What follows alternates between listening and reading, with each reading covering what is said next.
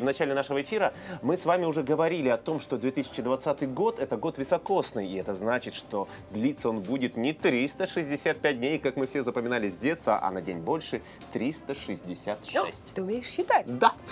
Также в начале эфира мы рассказывали о том, что Солнце делает круг э, возле Земли за 365 дней и еще 6 часов. Для расчета эта цифра не очень удобна, поэтому астронавты приняли решение только раз в 4 года исчислять год в объеме 366 дней используя 4 отрывка по 6 часов от предыдущих го- годиков. Да, и вот сейчас мы эту тему раскроем, постараемся, по крайней мере, раскрыть для вас, наших зрителей. Все- Сегодня у нас в гостях Жанна Буйло, директор астрокомплекса ЮРГППУ. Вот так вот сейчас вы Жанна, правильно доброе утро. называетесь. Доброе, утро. утро. Э, Юрга ГПУ. Да.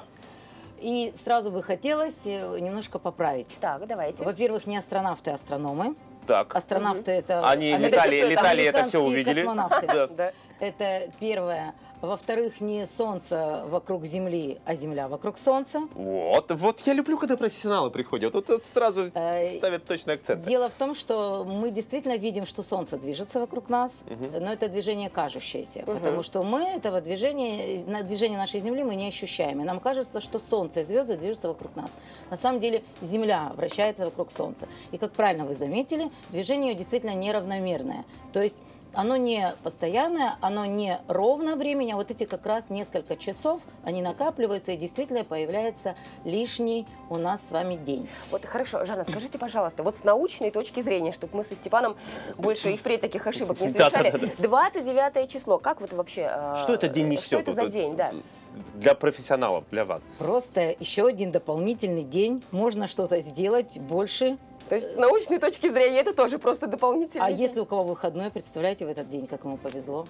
А еще если он оплачиваемый, Да, то, то- да, то- то да. еще лучше, да? Поэтому, н- на самом деле, в результате разных астрономических наблюдений, э, в- вот, а в Древнем Риме уже было замечено, что вот есть некое несоответствие событий, которые происходят, различные праздники, с тем, что происходит в реале на небе. Э, В то время был, это еще нашей эры, был э, солнечно-лунный календарь. Затем во времена Гая Юлия Цезаря, знаменитого императора, были сделаны перерасчеты, и календарь стал чисто солнечным. И вот появился вот этот лишний день. Почему именно февраль? Потому что вот почему не Ну, не, сентябрь, почему да, не октябрь? 32 там или Дело в том, что 31? весна в то время начиналась в марте, э, так же, как и у нас, и год начинался с весны. Не как у нас принято 1 января, а с весны. И февраль получался последний месяц.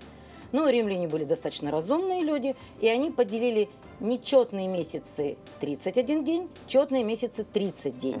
И получается, вот в феврале все должно было быть очень хорошо, один лишний день, да, 30 Ну да, да, если... но э, по легенде сыну Юлия Цезаря Огустину, месяц август, Мгм. тоже захотелось чем-то выделиться, и в августе появился 31 день. У нас же идет июль 31 день, август Да, да, да. 31 день. Отсюда у февраля стало не 29 дней, было бы 30 дней високосный год, да, 29 дней 30, стало 28 дней, и високосный год 29. Хорошо, Жанна, у нас просто, к сожалению, очень мало времени. Вот скажите, пожалуйста, в небе можно увидеть что-то необычное в этот день? Ну, Или он просто такой же, как Просто обычный день. А вот тогда, извините, перебью, да, времени очень мало, мы все-таки прямой эфир. Считается, что високосный год, он какой-то нехороший, что кто-то считает, что Да, 29 не совсем число это счастливый. какой-то счастливый, несчастливый, как вот профессионалы к этому. Я вчера специально смотрела в интернете одни сплошные приметы. Там и замуж выходить нельзя, и жениться нельзя. Да-да-да. Кстати, в Англии было, если отказал жених невесте високосный год, он должен был ей подарить перчатки и фунт э, денег дать. И даже по этому поводу были выпущены открытки.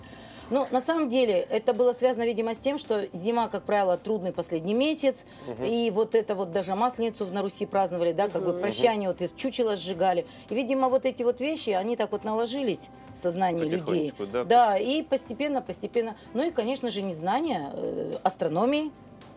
В общем, астроном, профессионал нам сегодня говорит, что обычный день, обычный год, ничего не надо бояться, а наслаждаться лишним днем, Весна правильно? еще наступает. Поэтому, Да. мне кажется, это замечательно. Зима заканчивается. Опять же, наступает. лишний последний день зимы можно в снежки еще раз поиграть. Тем более с или такой метелью, как у или нас. Вот, Отлично. друзья, проведите лишний год, э, лишний день этого года вот с радостью, счастьем и не думайте о плохих Или приметах. праздник устроить.